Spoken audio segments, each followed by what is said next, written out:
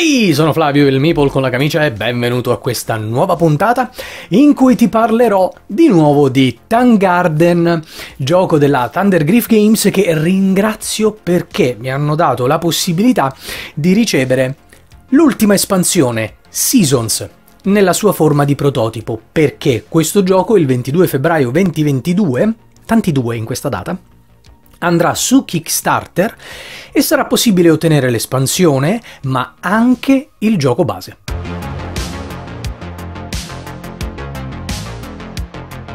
E non solo il gioco base, anche le prime due espansioni, quindi uh, Golden Ages, mi pare si chiamava Golden Ages, non mi ricordo più perché non ho più la scatola, o meglio nascosta da qualche parte, ho messo tutto nella scatola dell'altra espansione, Ghost Stories, che aggiungono degli scenari al gioco base, essenzialmente qualche piccola variante, tendenzialmente. Ma oggi parliamo dell'espansione nuova Seasons. Se tu non sai che cos'è Tangarden, puoi andare a recuperare il video che ho fatto qualche tempo fa cliccando il link in alto oppure in descrizione. E adesso invece ci andiamo a vedere una breve e generale panoramica di quelle che sono alcune delle novità che ci saranno in questa espansione, perché ce ne saranno altre che io non ho qui ma di cui so e però non ti posso parlare. Come puoi vedere qui c'è veramente un casino di roba sul mio tavolo, non ci entra più nulla, ci sono eh, praticamente tutti i componenti del gioco base più tutti i componenti, quantomeno quelli a me disponibili, delle espansioni che sono presenti in Seasons. Qui ad esempio puoi vedere le lanterne, queste sono delle tessere che fanno parte del, della versione in cooperativo.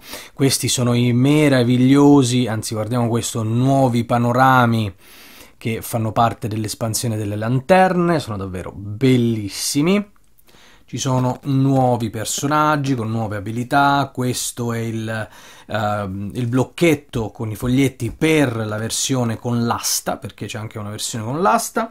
Qui come puoi vedere ci sono delle annessioni alle planche che queste servono per un paio di varianti.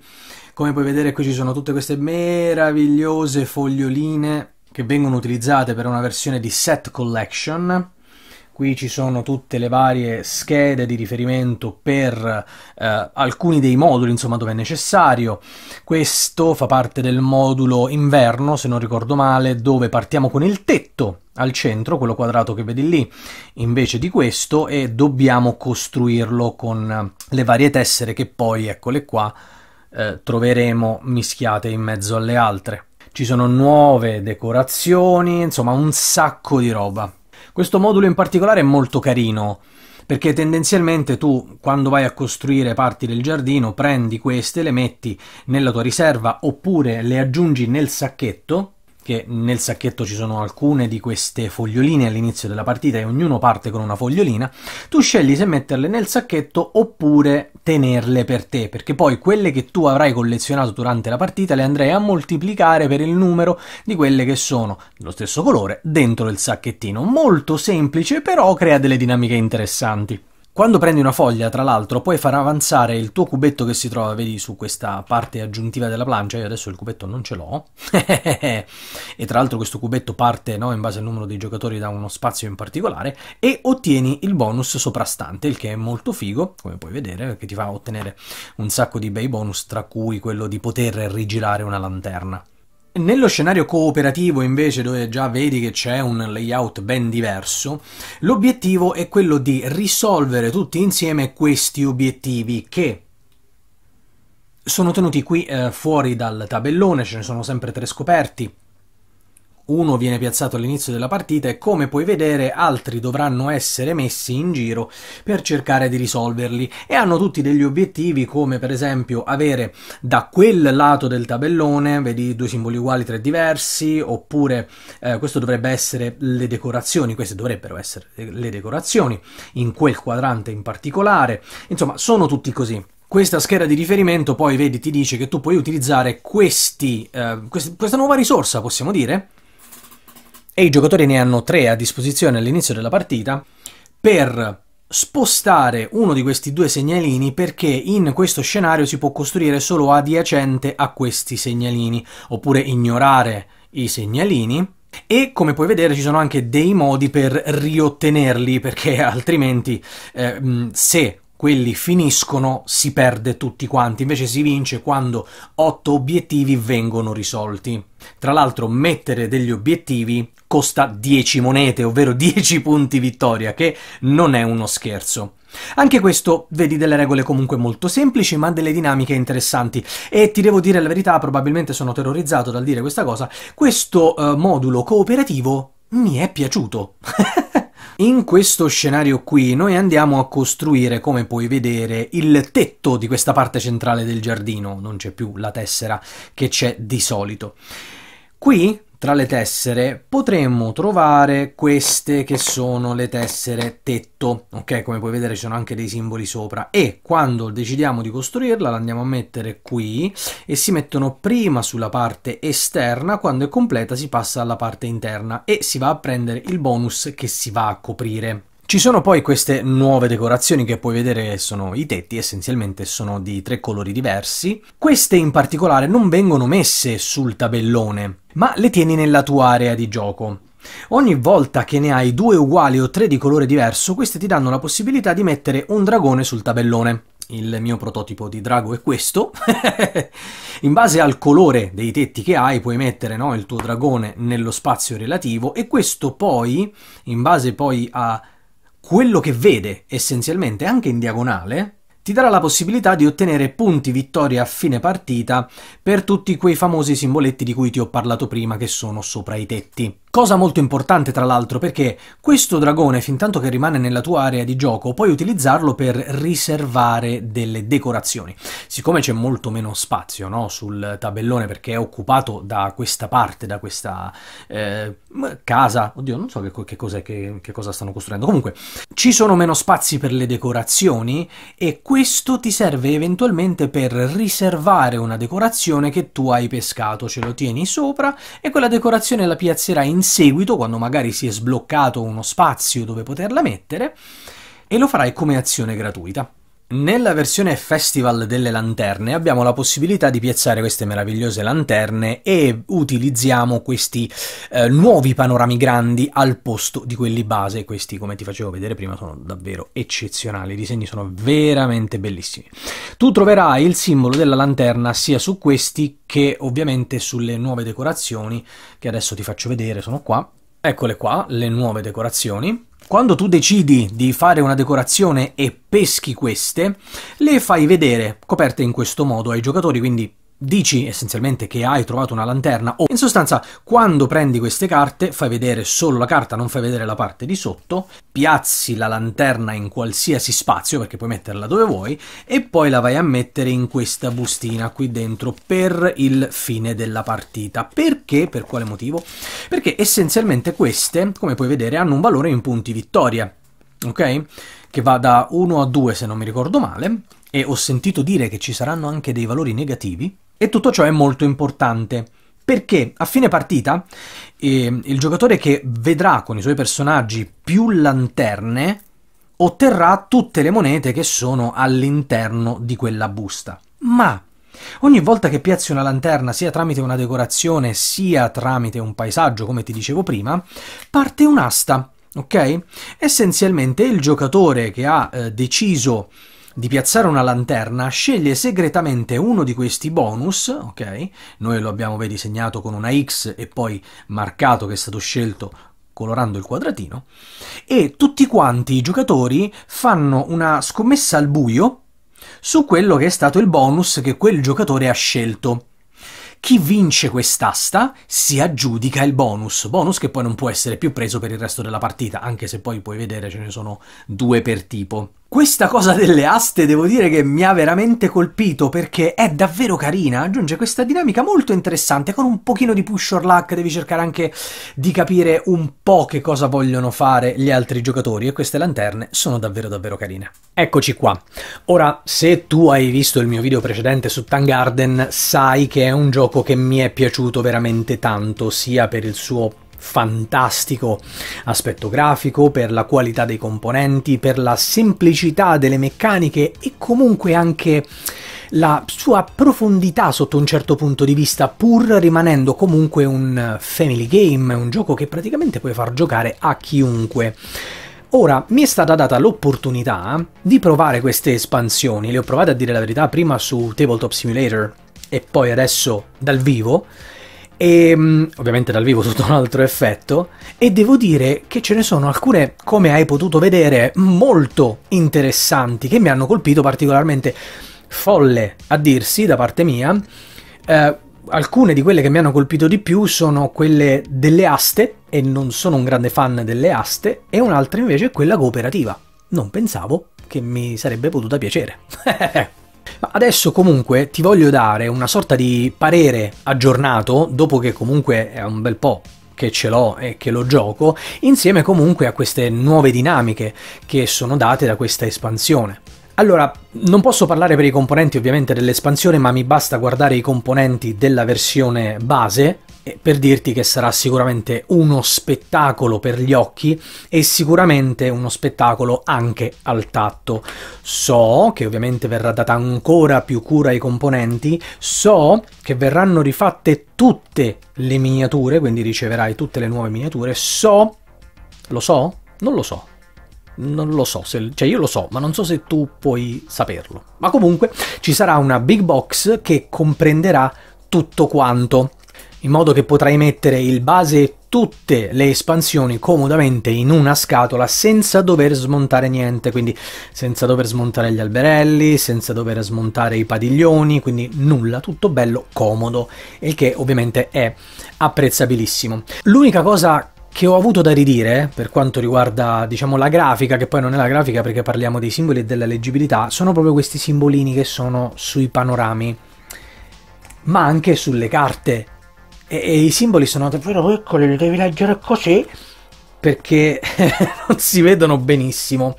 Però diciamo che poi ci fai l'abitudine, perché incominci anche a legare l'immagine al simbolo, perché i simboli poi rappresentano l'immagine che c'è sulla tessera, sulle carte, è solo un problema iniziale, però è un problema.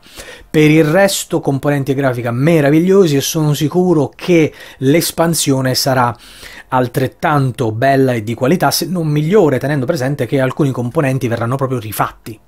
Per quanto riguarda il tema, siamo davanti a un astratto fondamentalmente, però ti devo dire la verità, vedere questo giardino che cresce e si espande sì, non ha senso quello che stai facendo in effetti a livello di, di, meccaniche, però è molto molto soddisfacente e bello. Infatti le meccaniche sono diciamo il cuore di questo gioco che però si eh, trasportano tematicamente in, una, in un'atmosfera ecco, di rilassamento, perché sì, tu stai competendo in effetti con gli altri giocatori, però però stai facendo un gioco in cui stai creando un giardino, essenzialmente, no? E è una cosa che visivamente ti rilassa, ah, quantomeno a me rilassa particolarmente, perché poi non è neanche un gioco troppo complesso e dici oh mio dio adesso devo pensare a quale azione fare. C'è da dire che alcune delle nuove meccaniche, come per esempio quella delle aste, no? o magari il cooperativo, aggiungono delle dinamiche che possono essere un pochino più pesanti, vogliamo dirla, metterla così, e non è solo il mio parere, anche delle altre persone che lo hanno giocato, non lo appesantiscono più di tanto, lo arricchiscono. Ecco, senza stravolgerlo, senza cambiarlo incredibilmente come fanno eh, determinati giochi, pardon, che poi non è detto che sia un, un errore, eh. però qui hanno voluto mantenere delle meccaniche comunque semplici, adatte a tutti, e gli hanno voluto dare quel pizzico in più di pepe per renderlo un pochino diverso e un pochino più profondo anche. Tra l'altro una delle nuove meccaniche, eh, di cui però purtroppo non ho i componenti, eh, comprende anche la meccanica del piazzamento lavoratori, dove tu hai un unico lavoratore e una, questa nuova azione che ti permette di piazzare questo lavoratore e prendere delle risorse in base alle tessere che hai attorno, quindi eh, parliamo di acqua, terra e legno acqua, terra lì, sono tre risorse, adesso non me le ricordo con precisione, comunque queste risorse poi ti servono per costruire queste pagode, ok, che vengono costruite sul tabellone e eh, da, daranno poi determinati punti vittoria a fine partita in base al livello della pagoda che hai costruito tu. E anche questa è una cosa molto interessante. E di meccaniche ce ne sono veramente tantissime e so che ce ne saranno altre, non ti posso anticipare nulla perché mi hanno detto di cucirmi la bocca, ma aspettati tante grosse sorprese come è classico poi delle campagne Kickstarter della Thundergriff Games. Questo gioco non è dispersivo, è molto semplice. Piazzo una tessera oppure faccio le decorazioni, anche aggiungendo le altre meccaniche perché poi si legano talmente tanto bene al resto. Anche l'asta, che non c'entra proprio un tubo con, con la questione di costruire il giardino, però ci sta bene e quindi non crea dispersività. Rimane sempre un gioco molto diretto e accessibile a tutti. Sicuramente chi ha un po' di esperienza con il gioco riesce a vedere qualche incastro in più degli altri, ma ti dico la verità. Puoi giocare questo gioco con il giocatore esperto e il giocatore completamente inesperto allo stesso tavolo tranquillamente, perché comunque nel suo turno farà sempre qualcosa. Non farà tanti punti, non avrà una partita eccezionale, ma comunque si divertirà e vedrà crescere questo giardino insieme agli altri. Regolamento il regolamento l'ho trovato buono, quello del base, anche quello delle espansioncine, quello ovviamente di Seasons è ancora in fase di prototipo, che comunque mm, non mi ha dato tanti dubbi, voglio dire, poi eh, sicuramente verrà ricontrollato come si deve, verranno aggiunte tutte le immagini e gli esempi, perché era proprio in fase di prototipo il regolamento. Uh, per quanto riguarda i simboli, te lo accennavo prima, non è che ce ne siano granché, però ecco, sulle carte, sulle tessere, che poi vedi sono messe anche in questo modo queste tessere, quindi devi essere nell'angolo giusto per poterle vedere. Ora, non è che è impossibile vederle, voglio dire. Poi basta guardarle una volta. Potevano farle leggermente più grandi, probabilmente, andavano magari a coprire un po' il disegno, si sarebbe stato un peccato, però ne avrebbe giuba- giubato. Ne avrebbe giovato sicuramente la leggibilità. Eh, il gioco è indipendente dalla lingua, completamente indipendente dalla lingua, ma verrà fatto anche in italiano. Sì, verrà fatto in italiano perché è localizzato in italiano dalla Genos. Casualità bilanciata al determinismo. Ora, in questo gioco eh, un pochino di casualità c'è perché c'è la pesca delle carte, però ci sono modi comunque per ovviarla. Ci sono delle varianti in questa nuova espansione che aggiungono un pochino di casualità, però non è una casualità fastidiosa, è una casualità sempre uh, piacevole, c'è anche un modo per mitigarla, uh, una versione per esperti che ti dà la possibilità di avere a disposizione delle carte decorazioni sempre scoperte e quindi puoi fare strategia su, uh, su quelle carte invece di doverle pescare. Il che è una cosa che può piacere sicuramente ai giocatori un pochino più strateghi, però la poca casualità che c'è in questo gioco a me non dispiace affatto, neanche quella che viene aggiunta con eh, le varie nuove espansioni. Per quanto riguarda la curva di apprendimento, come ti accennavo, questo è un gioco davvero semplice, sono tre regole in tutto, mm, quindi è un gioco che puoi insegnare a tutti, è un gioco che può piacere a tutti, perché nonostante le poche regole dà una bella sfida comunque. È ovvio che se sei uno che gioca solo cinghialoni, probabilmente questo non è assolutamente il gioco adatto a te. Di contro è molto positivo che puoi farlo giocare anche a chi non ha mai giocato a dei giochi da tavolo, voglio dire, se tu presenti probabilmente ecco un Carcassonne potrebbe essere anche più complicato, che è sempre un piazzamento tessere, potrebbe essere più complicato da presentare un gioco che ha, ha un giocatore che ha totale digiuno di giochi da tavolo, piuttosto che questo.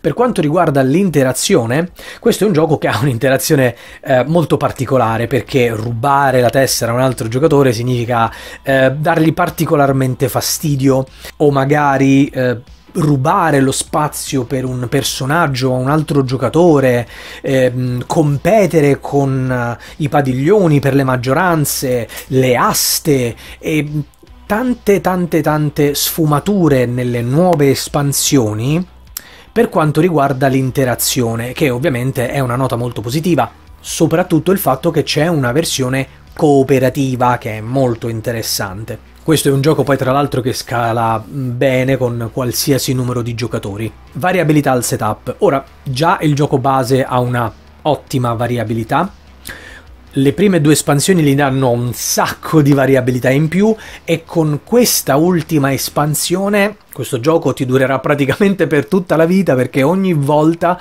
avrai un'esperienza diversa, una partita diversa, le regole bene o male rimangono quelle, se ne aggiungono alcune riguardo alle espansioni però ti danno proprio quella sensazione di giocare qualcosa di diverso e nuovo ogni partita, quindi incredibilmente apprezzabile. Per concludere, cosa penso di questo gioco, soprattutto con queste nuove espansioni. Allora, come avrai capito e come magari saprai, avendo visto il mio precedente video, questo gioco mi è piaciuto veramente tanto. L'unica vera critica che gli posso muovere magari è un pochino la leggibilità, ma ci si può passare sopra dopo qualche partita. Per quanto riguarda queste nuove espansioni, sono molto colpito. Le precedenti mi erano piaciute, ma queste nuove non stravolgono, ma come ti dicevo, arricchiscono il gioco e me lo rendono. me, me l'hanno praticamente riportato in vita. Non che fosse morto, voglio dire. Però, ecco, era un po' che non lo intavolavo, eh. E con queste espansioni ho avuto il piacere di riportare sul tavolo un gioco che mi piace tantissimo e che ho in collezione e che non mollerò mai e mi hanno dato la possibilità di guardarlo proprio da un altro punto di vista, con delle meccaniche che mai mi sarei sognato di giocare in un gioco del genere. Quindi grandi, grandi, grandi complimenti agli autori, allo sviluppatore che è Pierre, che ci ha dedicato veramente tantissimo, a Gonzalo, insomma mi hanno dato l'opportunità di, di provarlo, di fare questo video, di averlo in anteprima. Davvero una ottima espansione per un ottimo gioco.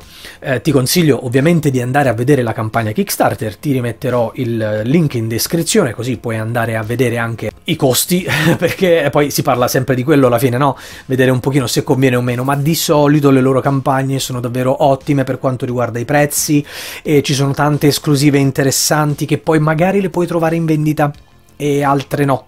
E poi tra l'altro a proposito di prezzo io quando vidi il, il, il prezzo di Tangarden e quando poi ho avuto la copia mi è arrivata a casa ho detto è impossibile che, che potesse costare così poco. Perché hanno fatto veramente, adesso non me lo ricordo quanto costava, ma tutta la roba che c'è nel base a quel prezzo così basso è incredibile.